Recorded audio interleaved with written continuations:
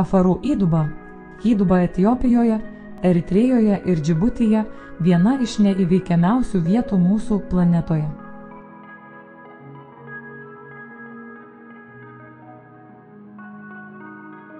Gvinėja - istorinis geografinis Afrikos regionas, užimantis dalį vakarų Afrikos. Regiono pavadinimas kilo iš berberų žodžio aginas, kuris buvo iškraipytas patekęs į portugalų kalbą. Jo pirminė reikšmė buvo juodas ir reiškia juodųjų šalį.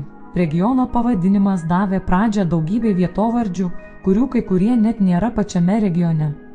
Gvinėjos vardas davė pavadinimus ir trims valstybėms Afrikoje - Gvinėjai, Bisau Gvinėjai ir Pusiaujo Gvinėjai, taip pat ir Naujosios Gvinėjos salai pietryčių Azijoje.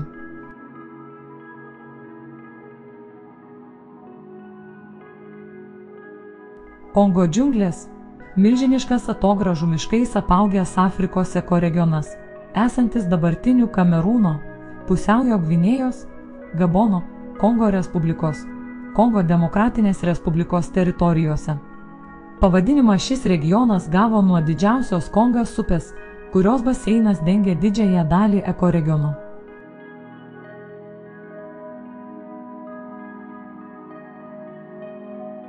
Sahelis - biogeografinis ir ekoklimatinis regionas šiaurinėje Afrikoje, į pietus nuo Saharos, kuris neretai laikomas jos dalimi.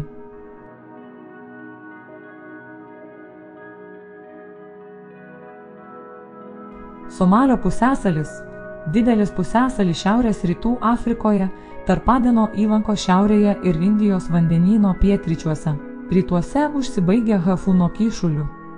Jame įsikūrusi Somalio valstybė, dalis Etijopijos ir Džibučio. Didžiojoje teritorijos dalyje vyrauja laiptuota plynaukštė, šiaurėje kyla kalnai, būdingos pusdykumės ir dykumos, klimatas sausas ir karštas.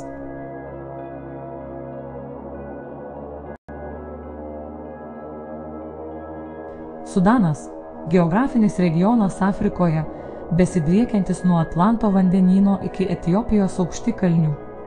Tai plati juosta, pereinanti per dabartines valstybės, tokias kaip Senegalas, Gambija, Gvinėja, Malis, Burkina Fasas, Dramblio kaulo krantas, Gana, Togas, Beninas, Nigerija, Nigeris, Kamerūnas, Čadas, CR, Sudanas. Pastaroji pavadinta tuo pačiu vardu, bet užima tik labai nedidelę dalį geografinio Sudano.